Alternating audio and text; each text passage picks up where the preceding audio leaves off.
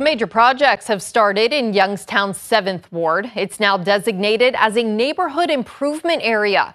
First News Weekend anchor Megan Lee gives us an inside look at the work planned for the summer.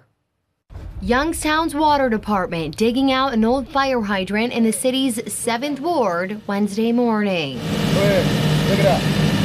This is just one of the many projects planned for the next month.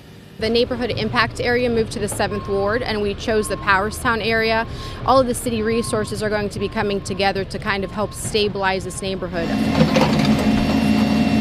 Stabilizing projects like repairing two catch basins, replacing various fire hydrants,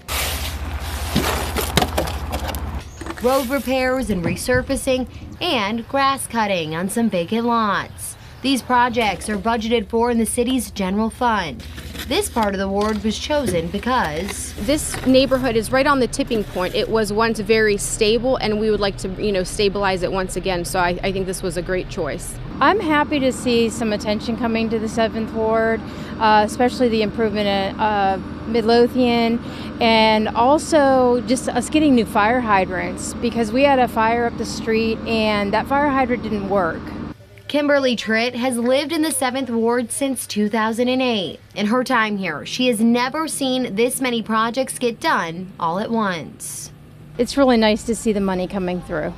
Residents can expect to see projects like the one you see behind me throughout the summer, not in just the month of June. Adamczak has plans to use her allocated ARP money to help with projects throughout the ward setting the foundation for really what we have going on the rest of the summer because then like I said we're going to be resurfacing sidewalk replacement and then we're also going to be right down the street there's uh, two parks we're going to be redoing those parks as well so it's just really going to be like an all-around comprehensive plan that's getting done here in the 7th ward.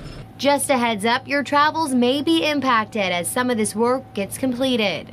In Youngstown, Megan Lee, WKBN 27 First News.